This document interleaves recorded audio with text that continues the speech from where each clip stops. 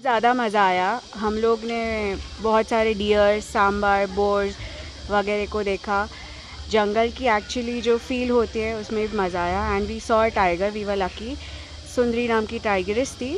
And she was resting in a water pond तो जैसे हम लोग गए, हमको टाइगर दिखी शी वॉज़ रेस्टिंग उसके बाद वो बाहर आई और चली गई। टेम्परेचर मुझे लगता है अंदर जाते ही एटलीस्ट तीन चार डिग्री का फ़र्क पड़ता है। बाहर जितनी गर्मी है, अंदर उतनी गर्मी नहीं है। फ्रेशनेस भी फील होती है। बाहर थकावट बहुत ज़्यादा आती है। फॉरेस्ट में इतनी थकावट नहीं थी। वी वर फ्रेश यहाँ पे इतना फ़र्क नहीं लग रहा है। वही हीट है, वही एक हीट वेव का जो चालू है सब जगह इंडिया में, वही इधर काना में भी नज़र आ रहा है।